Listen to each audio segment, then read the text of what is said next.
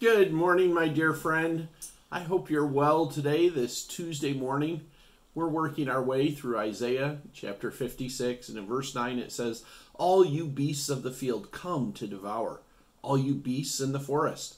His watchmen are blind, they are all without knowledge. They are silent dogs, they cannot bark, dreaming, lying down, loving to slumber. The dogs have a mighty appetite. They never have enough, but they are but they are shepherds who have no understanding. This next phrase for today. They have all turned to their own way. And one of the most destructive things that can happen to any one of us is that we turn to our own way. We know the Lord has a path, He has a plan for us. And if we stay on that path and plan, we know we're going to reach the goals that He has for us. But when we stray off it, what is it? Well, it's sin, and it brings our own destruction ultimately. This is further confirmed in Isaiah chapter 53 in verse 6. It explains our problem. All we like sheep have gone astray. We've gotten off that plan.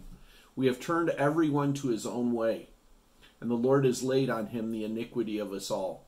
The fortunate thing is, Jesus came to redeem us, to put us back on that path on that plan. Let's go to Him in prayer today and just say, Lord, we want to stay on your path, not going our own way. Let's pray. Heavenly Father, we come to you with thankfulness in our hearts. And Lord, we're prone to get off the path and head our own way. But Lord, would you give us grace to, to stay on your path, to stay in the way that you have for us? We thank you in Jesus' name. Amen.